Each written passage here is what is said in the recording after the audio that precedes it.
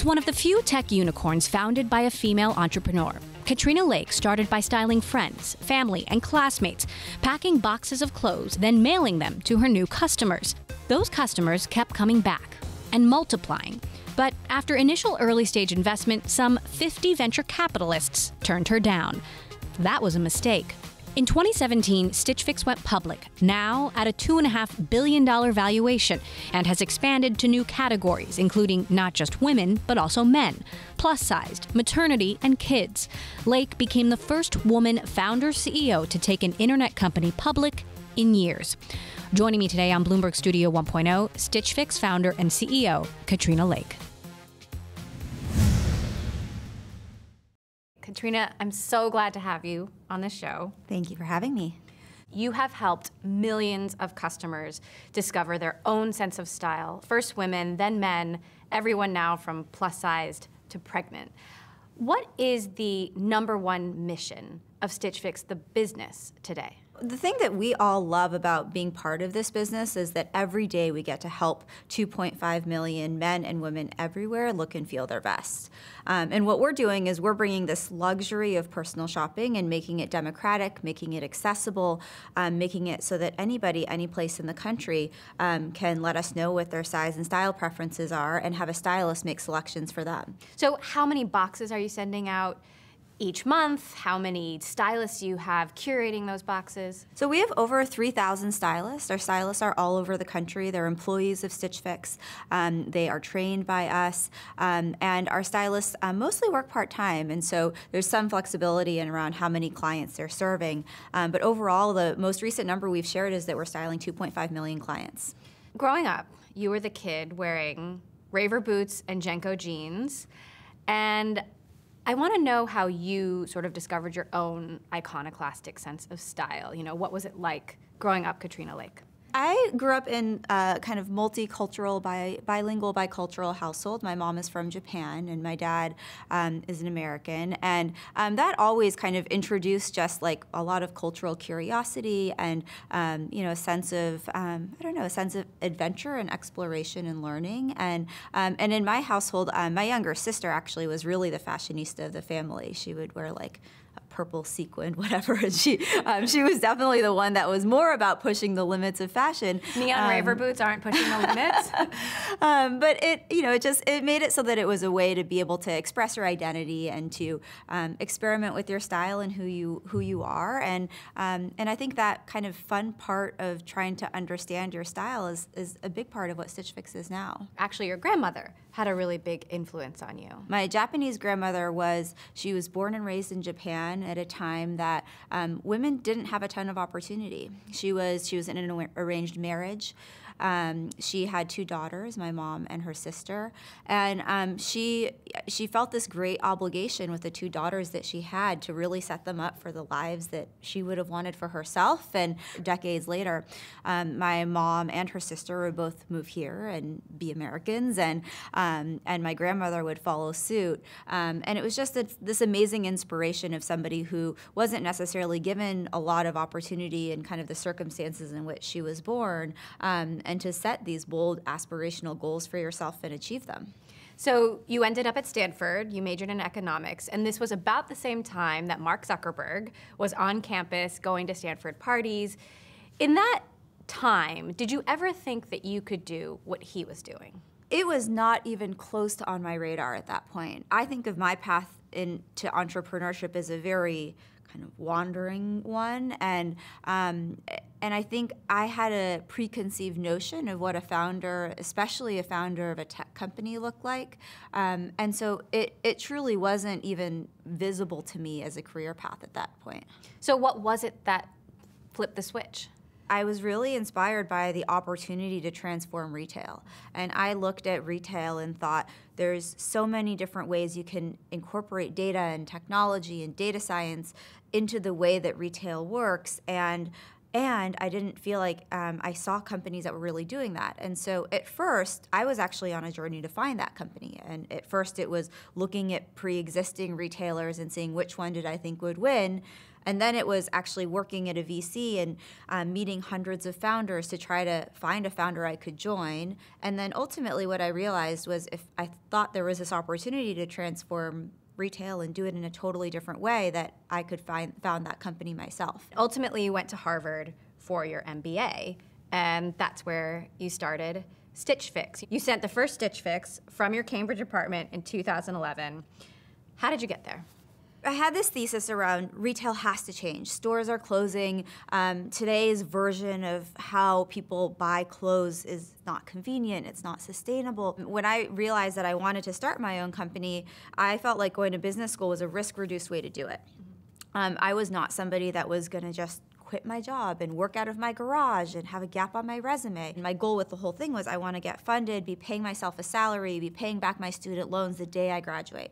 And if I can do that, then I can find entrepreneurship as kind of a tenable path for me. And if I wasn't able to do that, then I would have an MBA from Harvard and lots of opportunities. So you had a co-founder, Erin Morrison Flynn you guys bought a ton of clothes on your credit cards, right? A lot of the testing and trying I did, you know, with my own credit card and my own finances. But um, but this was a business that very early on we were lucky enough to have Steve Anderson, who was an angel investor who believed in the company, who put in money. So luckily, I didn't have to try to you know, kind of expand my credit limit too much then. What was it early on that made you realize this can work? In the early stage of this company, we grew incredibly rapidly, all organically. That product market fit of this is something that women everywhere really gravitate towards of like, I don't have time, I don't want to spend my days at the mall, I don't want to cull through hundreds of things online.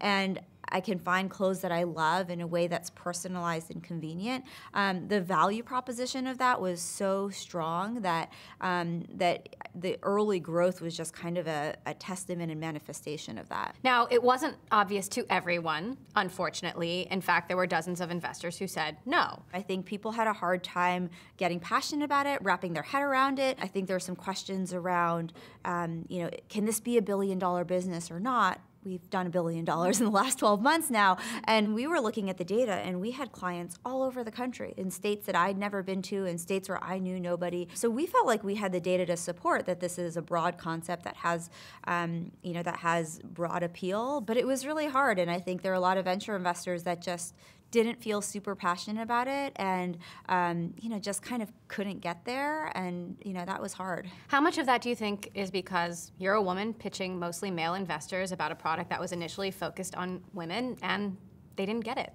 I think that definitely has a lot to do with the element of somebody being passionate about it. And um, I appreciate, you know, I had venture investors that were like, I want to be passionate about all the companies that I invest in, and I want to feel like, you know, I'm living and breathing it and I can add value to you, and that I just can't get there with women's clothes. And there's part of that that, like, I can't disagree with them. I also want them to feel passionate. And at the same time, um, at the time, 94% of venture investors were men. And so there's, you know, just some natural bias that that kind of gets introduced, I think, when you have such a homogenous group of people.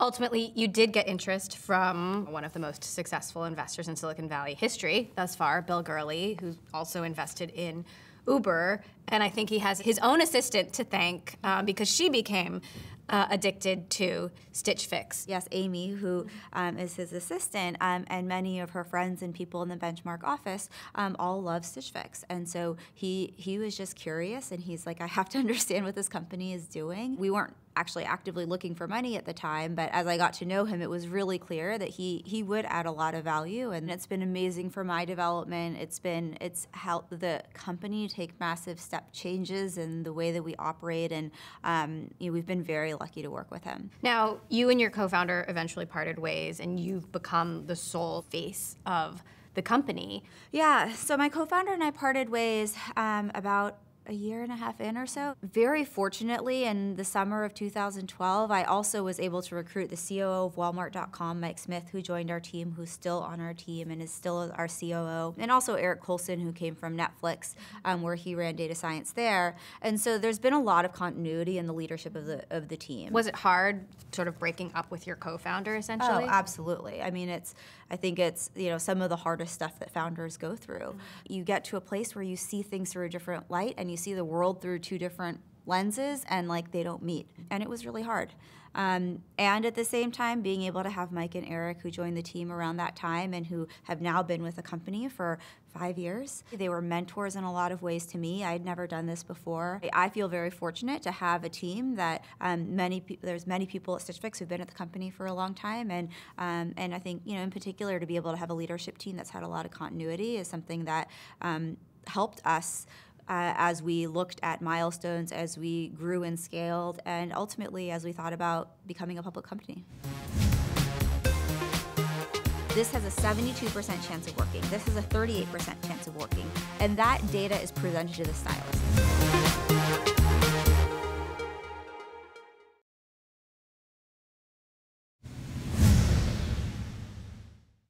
Stitch Fix was profitable two years before you went public. Was that a priority for you? Was that a choice? We live in an interesting time where um, I think companies are rewarded for growth. And, and look, our business has been growing at around 25% year over year the last four quarters. But I think companies are rewarded more for growth than for profitability. And so there's not a lot of public pressure, I think, for companies to get profitable. And so, um, look, I understand the decisions that many others are making. At the same time, that wasn't necessarily a choice that we had.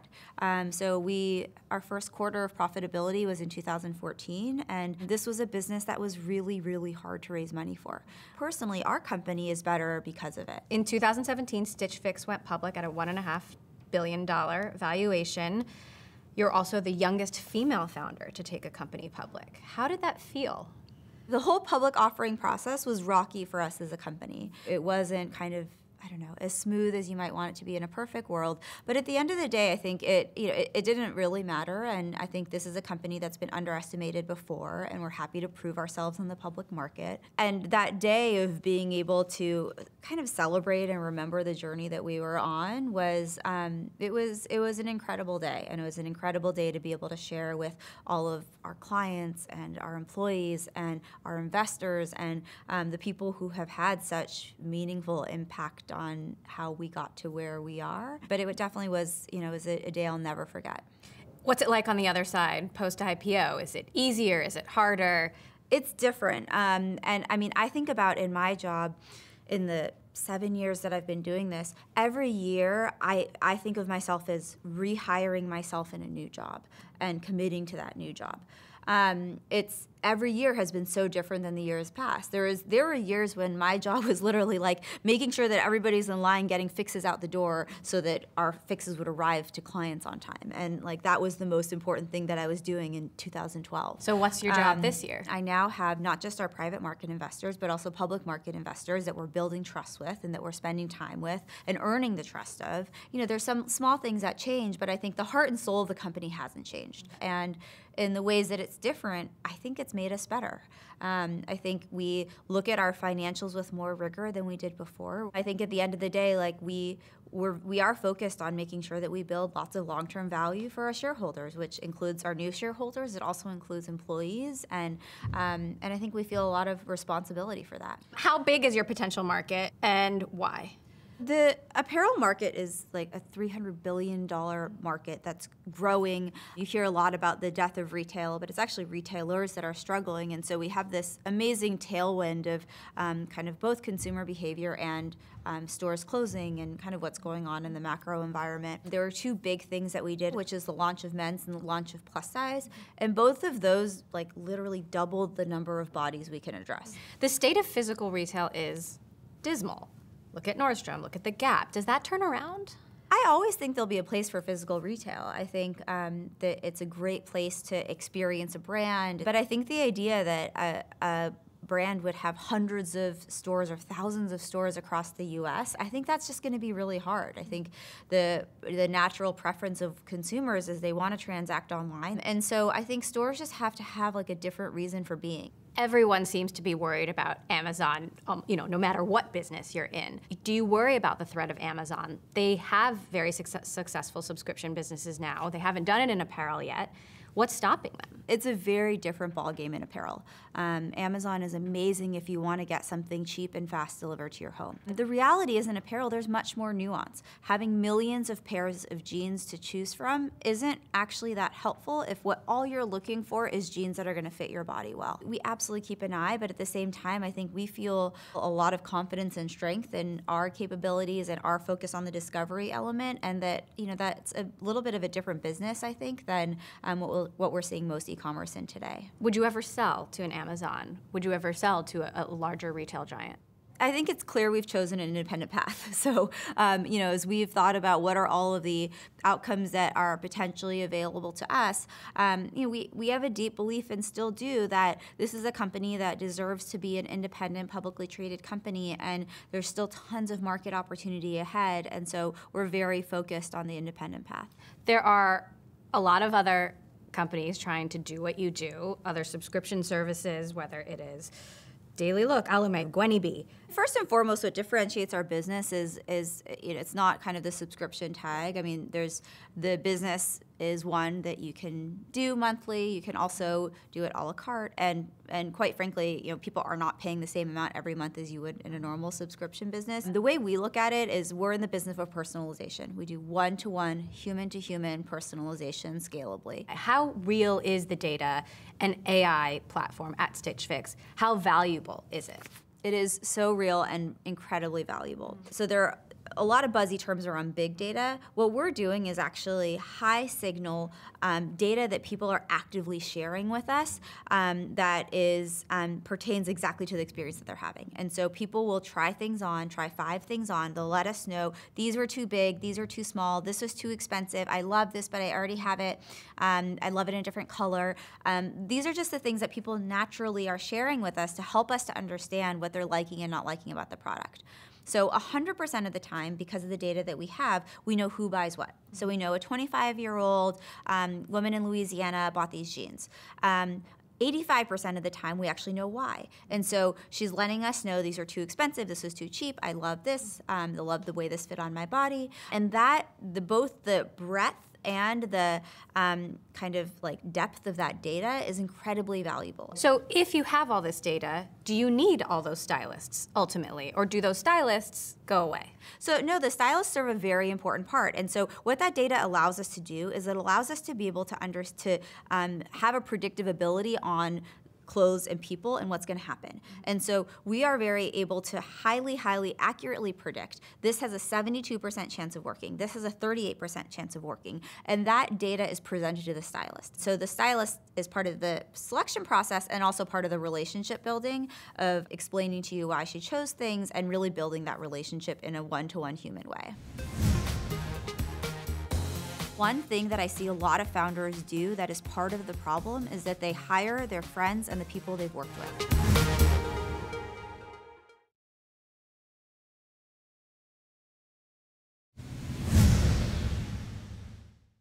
As the youngest female founder to take a company public and one of the few running a unicorn, do you feel a greater sense of pressure or responsibility to pave the way for other women than you did when you started this journey? I do feel a great responsibility. You know, there was a time a few years ago where I was just more averse, I think, to being like a female founder or female CEO. Um, and you know, the reality is that um, it, that the world needs it now. And um, and I, you know, I think about myself when I was writing my business school applications or when I was um, kind of figuring out who I wanted to be in the world. I'm really proud that I can be an example of um, a different kind of tech CEO, a different kind of IPO CEO. I treat that responsibility, I think, very, um, it's, it's very important to me. You recently wrote a tweet, which I loved, about the iPhone auto suggesting a white male emoticon for the word CEO, saying, I don't look like this, I look like this. But you have an incredible power now to speak up. How do you use that power? How do you decide when to use that power? My powers are best deployed at Stitch Fix. The biggest impact that I can have is by creating a company that has an amazing culture that people love to work at, that people love to get fixes from and be a client of. You didn't always feel like you had the power. In the introduction to my book, you talk about how you heard Chris Sacca, the investor, bragging about his hot tub parties at a conference where you know entrepreneurs like Travis Kalanick, uh, the founder of Uber, would congregate. You know, talk to me about like how you navigated that kind of thing in, in the early days. I was exposed to bias, both I think kind of deliberate and not deliberate. And you know, I hope those days are far behind us now. And um, you know, I think there's a much greater awareness now of you know what I think back then could have been seen in a tone deaf way is like oh just like another way to connect with entrepreneurs. That I think today that people um, I think people recognize that um, being inclusive and having a diverse portfolio, having a diverse employee base, like these are things that are good for business and that people are making the right decisions about. You reportedly even told Bill Gurley during the Uber drama that he had a greater responsibility to sort of fix what was going on and to rein it in there. You know, how do you decide when to press those buttons? I have a great relationship with Bill, and um, and I, you know, I, I feel like he's somebody that is happy to listen to my very direct opinions, merely opinions about um, about what I was seeing, and I have so much respect for Bill and Benchmark and it was a series of really difficult decisions that they have made in the last year, last two years. And you know, I appreciate Bill for his openness and listening to to my kind of direct opinions. You had your own Me Too problem with the investor Justin Caldbeck, who was accused by multiple women, many of them entrepreneurs, of sexual harassment and even assault. And I know that legally you can't discuss it which is part of Silicon Valley's problem, um, forcing people to sign NDAs so that these stories never get told. But what is your reaction to the broader stories that have been told by women in Silicon Valley, in Hollywood, in Washington? The last year has like undoubtedly been like a big moment of change. And I think, you know, there's a lot that has led up to this. And um, in many cases, there were decades of behavior that are now coming out in this last year.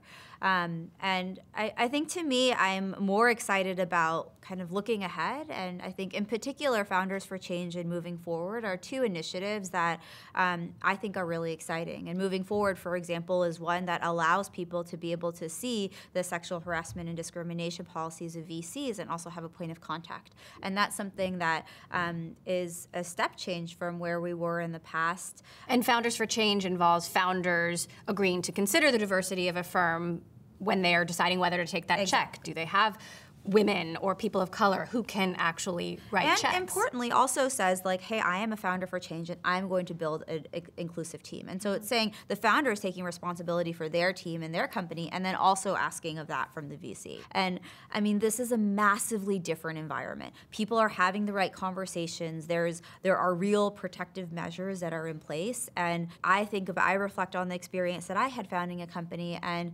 um, this is a much better environment to do it. Like I think about what it would be like today and I think it's a lot better. So I'm I'm really optimistic. You are building an incredibly diverse team at Stitch Fix. You took your full maternity leave, and I know that was really important of you to do that and send that as a signal to your employees. Talk to me about how you build that team and what other founders can, can learn from you because everybody wants to know how do I do this? I think one thing that I see a lot of founders do that is part of the problem is that they hire their friends and the people they've worked with. Being able to have a wide lens for all of the hires that you're making and feeling like you're actually looking at the whole kind of the broader context and saying, is this the best person for the job? Like, that's actually been my secret to building a diverse team. I know you're really passionate about helping other women find their confidence to, to do now what you have done. What is your advice to those entrepreneurs, especially women entrepreneurs who are looking at you and saying, How do I do that today? I mean, I think firstly, it's just like surround yourself with possibility and to try it, do it, experiment. Like, um, you know, I, I believe in, you know, so much more possibility now than, um, you know, I've, I've, gained so much over the years and um, I'm excited to see many more women take the plunge. All right. Katrina Lake, CEO of Stitch Fix, thank you so much for joining us. Thank really you. great to have you.